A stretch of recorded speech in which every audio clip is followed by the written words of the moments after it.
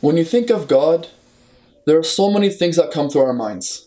We think of Allah Azza greatness, His majesty, His glory.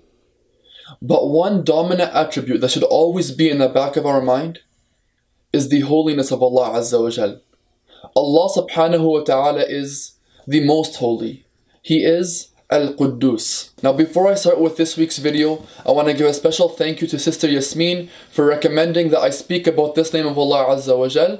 If you have a name of Allah Azza wa Jal that you, that you want me to talk about in a future video, please let me know in the comment section below. Jazakumullah khair. Also while you're at it, please remember to subscribe to our YouTube channel for more Islamic videos that come out every week.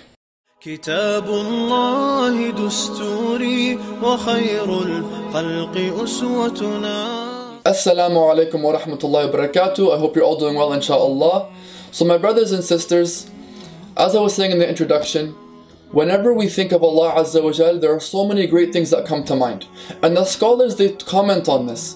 They say that whatever you think Allah Azza wa to look like, whatever you think Allah Azza wa to be, then know that Allah Azza wa is even greater than, than what comes to your mind. Know that the human mind is not fully capable of comprehending the greatness of Allah Azza wa the holiness of Allah Azza wa. And the only time we will ever be able to truly understand, or maybe even understand a little bit of what Allah Azza wa looks like, is when we are given the honor of seeing His face in Jannah, inshaAllah. I ask Allah Azza to make us all of, of those who make it to the highest levels of Jannah, inshaAllah. Say Ameen.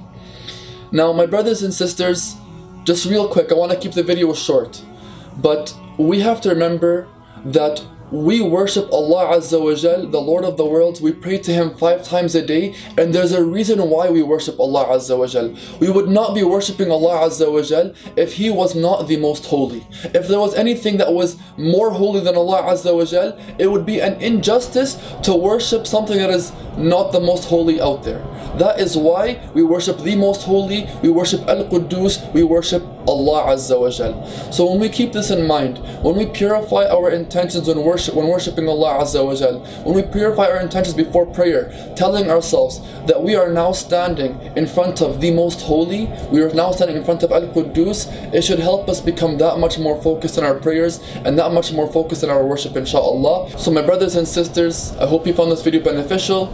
If you did, please uh, remember to click the like button uh, also, like I said in the beginning of the video, if you have a name of Allah Azza wa Jal that you want me to talk about in a future video, or if you have any other topic that you want for a future video, please let me know in the comment section below. Jazakumullah khair. Wassalamu alaikum wa rahmatullahi wa barakatuh.